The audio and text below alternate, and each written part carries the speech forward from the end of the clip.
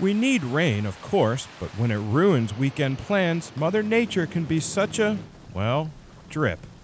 But weather researchers have found evidence that rainstorms tend to take it easy on the weekend.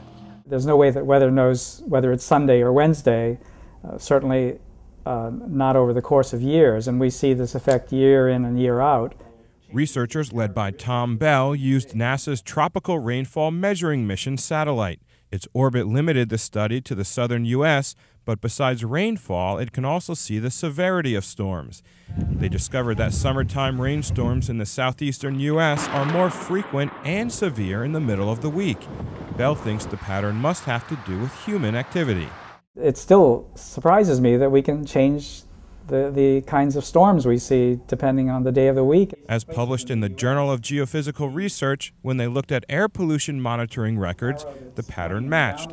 Bell says figuring out how air pollution affects storm formation could make forecasts more accurate.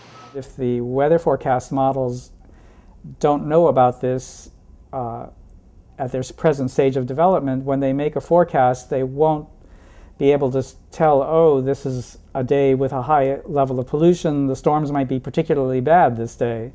And maybe a little less pollution on weekends also puts nature in a sunny mood. I'm Brad Kloza.